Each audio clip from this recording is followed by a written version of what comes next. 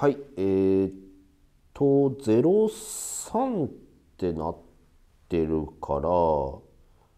っちのトランシーバーも03に合わせてこれで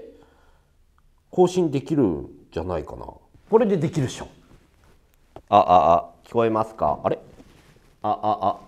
あれ？ボリュームとか下がってんのか？ああ聞こえますか？聞こえますか？あれ？同じ03なのに更新できないんだけど。なんで？壊れてる。壊れてんじゃないこれ。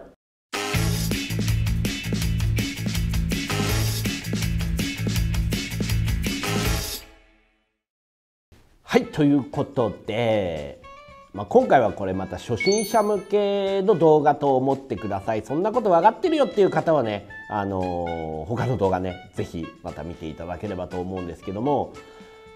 あの最近コメント欄にあのそういう質問があったんですよ。あのデジタル皆無線使ってる友達が多分4区とかでデジカンつけてて更新したいんでこの特定省電力トランシーバーの方が安いんでこれ買ってチャンネル合わせれば使えますかっていうね質問ですね。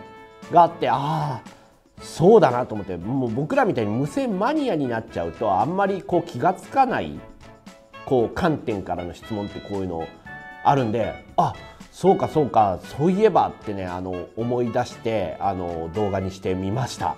はい、というのもですねあの僕も無線始める前はそう思ってたんですよ。当時僕あの走り屋やってたんですねあ何回か動画で話してるけど、まあ、峠に行ってドリフトをすると夜な夜な暴走行為をするということをやってたんですけどもあのパーソナル無線をね積んでる友達が結構いたんですよ。でああいいなあれ便利そうだな使いたいなって僕も思っってた時にたまたま知り合いが「あトランシーバーあるよ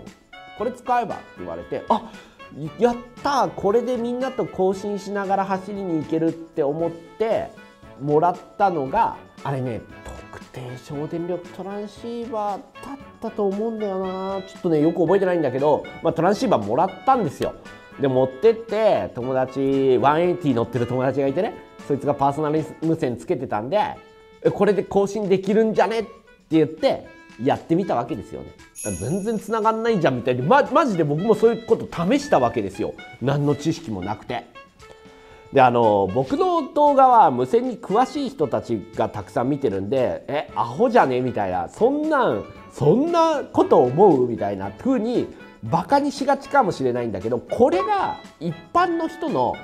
トランシーバーについての感覚だっていうのを僕らはちゃんと認識するべきでそれをバカにしたりしちゃいけなくて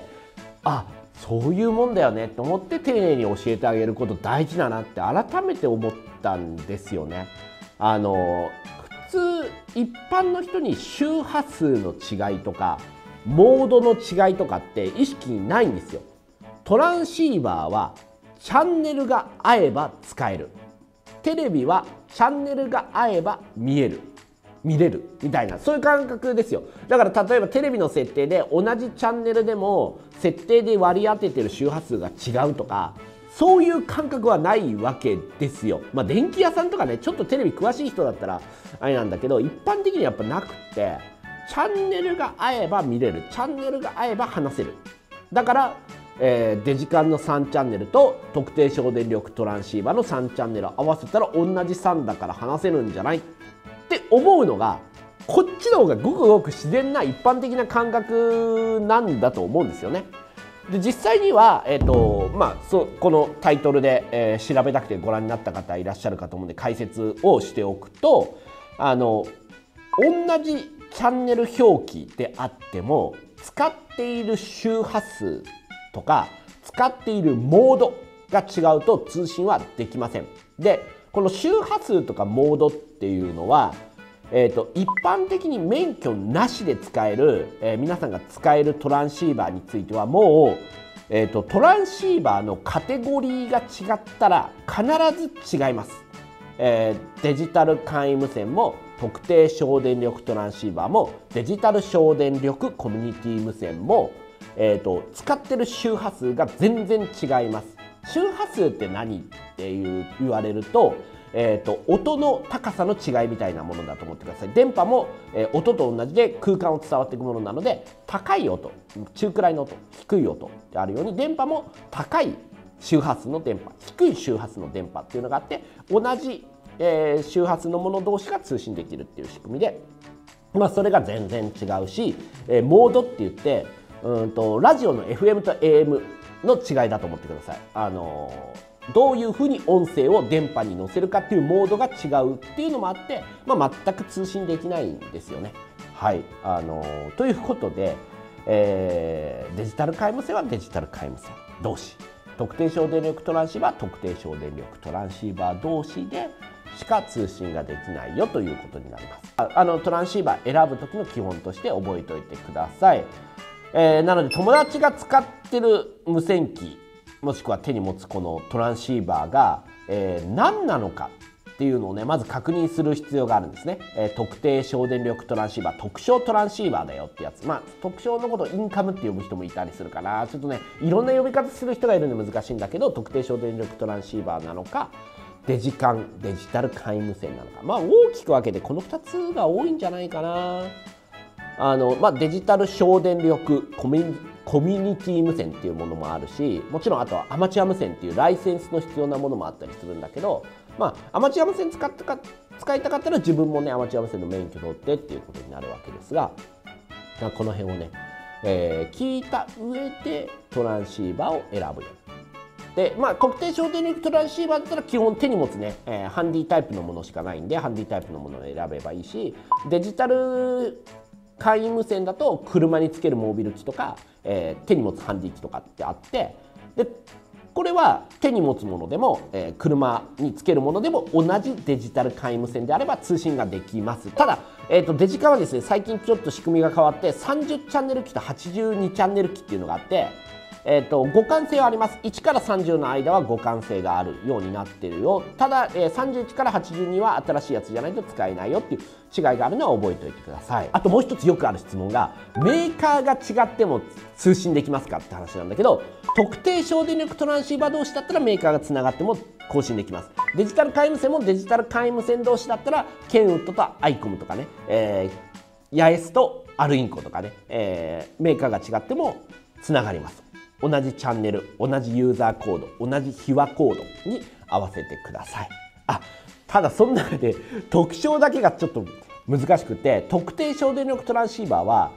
メーカーごとにチャンネルの表記方法が違います。アイコムさんとアルインコさんだと同じ周波数のチャンネルなのにチャンネルの表記が違うんですね。えっ、ー、とアイコムの12チャンネルがアルインコの L01 チャンネルとかねいうふうにちょっと違ってこれについてはあのググってくださいあの特定省電力トランシーバー互換表とかってやるとメーカーごとのチャンネル表記のあのこう互換表が出てきますんで、まあ、それで合わせていただける特徴はちょっとねそこが面倒くさいかなと思いますんでチェックしてみてください。はいということで今回は初心者の方に向けて、えー、デジタル皆無線と特定省電力トランシーバー通信できるのかとかね。あと同じ手時間でメーカーが違っても通信できるのかそういったところについてね解説をさせていただきました。参考になりましたでしょうか。はいあの僕らとしてはやっぱり言いたいことは、えーと、初心者って僕らが思いもよらない疑問を持つと。でそれを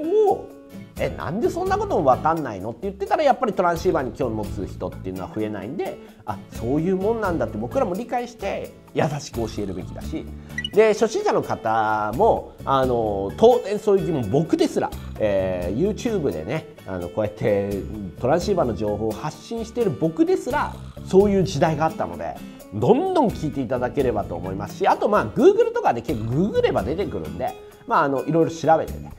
あの覚えていってもらえればいいんじゃないかなと思っております。はいあの間違ったの買ってね損しないようにそこだけ、えー、事前にチェックして注意していただきたいと